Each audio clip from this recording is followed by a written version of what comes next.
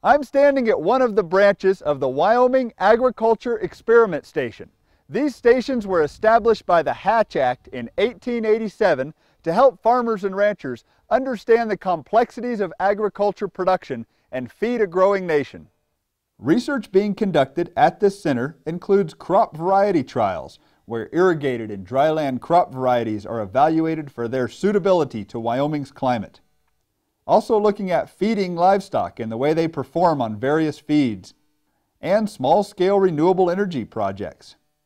Rangeland production is also analyzed in how livestock harvest the forage grown on the rangeland and various grazing systems.